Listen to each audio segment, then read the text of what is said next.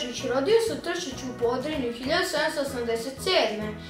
Vuk Karadžić rodio se u Tršiću u Podrinju 1787. Prvo obrazovanje dobio u Manasiru Tronoš. Vuk Karadžić rodio se u Tršiću u Bravo, Podrinju. Dobar dan, Daskavico. Da ti mama nije kod kuće? Nije, otišao da pokupuje neke stvari. Reci da sam dolazila i da ću me vratiti od. Mama je rekla da je pričekate. Ako dođete, sad će ona. Ne mogu, žurim, nego da ću navratiti. Hoću, kazat ću im. Dobro, pa kako si ti? Hvala na pitanju, dobra sam. Znam da u tromjesečju nisi nešto najbolje stavio sa srpskim matematikom. Koliko imaš sada? Iz srpske matematike imam četvoro. O, pa lepo kažeš sad imaš četiri. Jeste, iz matematike imam četiri. E onda čekaj da te častim. Zaslužuješ. Evo ti pa kupi čokoladu. Oh, hvala ti, Kamico. Ništa, ništa. Pozdravi mami i tatu i kaži ono mami. Hoću i hvala. Doviđenja. Doviđenja.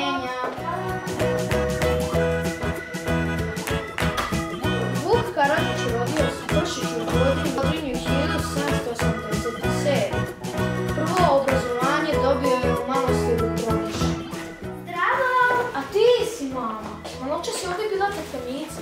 Što me nije sačekala? Što je kazala? Rekla je da će doći predveče. I dala mi i ovo, da kupim čokoladu. Pa što?